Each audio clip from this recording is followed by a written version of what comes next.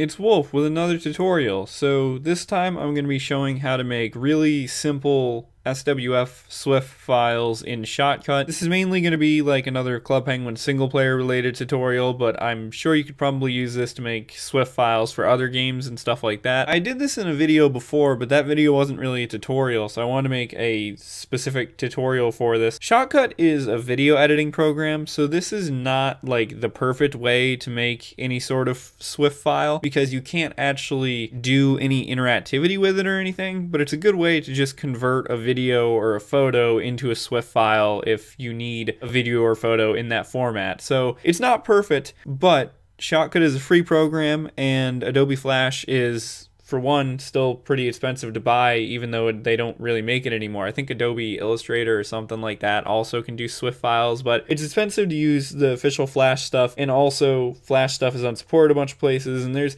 there's a whole ton of reasons why it's a pain to work directly in Flash, so it's helpful that Shotcut also can sort of make these types of files. So first, we need to open up Shotcut, and then I also, I'm going to be doing a photo in this video, but you can also use actual videos, I think. And Shotcut can also open Swift files. When it does, it opens them as a video, so again, they're not really interactive when you do it that way. So first thing we're going to do is we are going to add a video track and then we're gonna go grab the file that we had. I wonder what I was working on before. Oh, just the the, the Vanderbilt video. Um, where is it? Let's see. I think desktop games Club Penguin stuff. Okay, so I have this example picture I just drew this in paint.net really, really quickly. You guys might notice it's a weird resolution. If you're making something original for this, you should try to make it in, in well, if you're making something for, for Club Penguin single player, you should do this. If you're making this, if you're using this for some other game or anything, this might not be accurate. Club Penguin, at least some forms of Club Penguin, some versions of it, the resolution of the game was 760 by 480. So if you're going to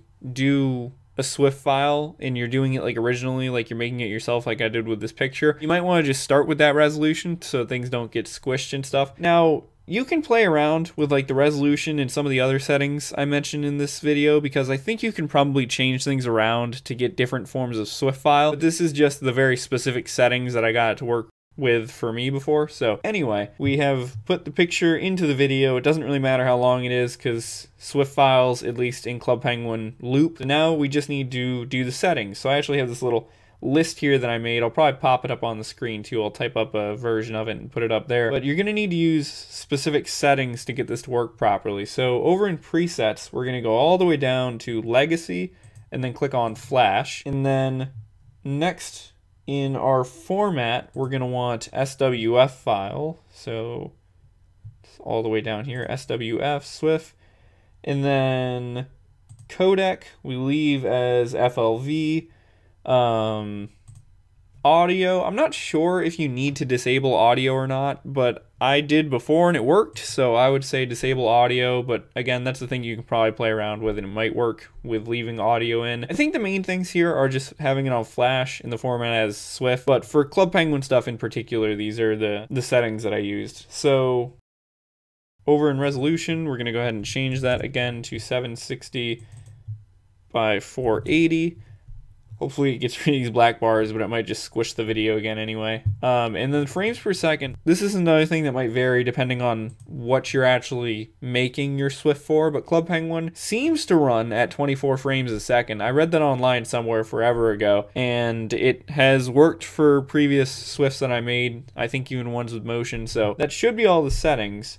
So next thing we're going to do is just hit export file I'm gonna go ahead and export it to where I have the picture. Now the important thing is one of well one of the important steps is right here. Normally when you export a file, you don't need to add the extension on or anything.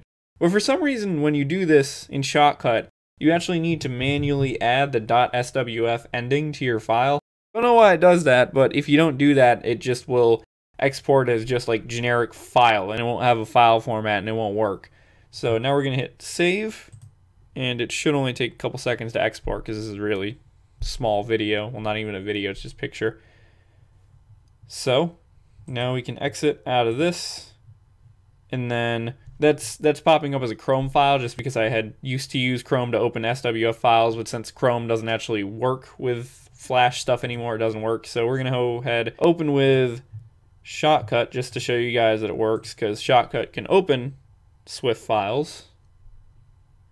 And so can like the Flash projector and other things like that.